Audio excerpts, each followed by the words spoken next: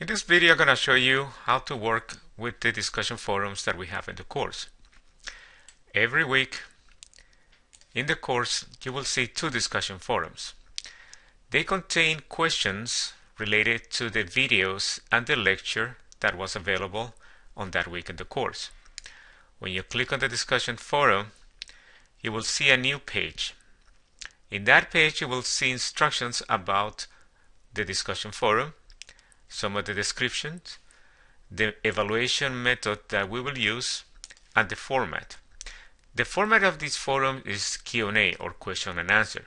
It means that you will not see the answers of other students until you have submitted your own answer. So here you click on the discussion forum title that we have placed on the course and you will see the page where you can then answer your questions. Click on reply. And on the reply page, you will see the space where you can enter your message.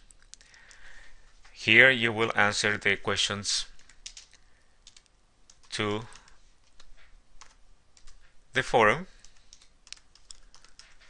You have tools to help you manage some of the formatting available, very similar to some of the word processing tools.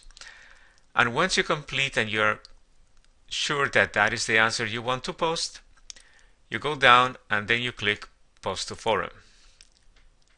Now that forum is going to be available to other classmates and you will be able to see the answers that you have on the course from other students. So if you need to make any changes, as you might find some spelling mistakes, you can always go back, click on edit, and you go back to the editing page where you can make your corrections. You then click Save Changes and your post is now back on the system.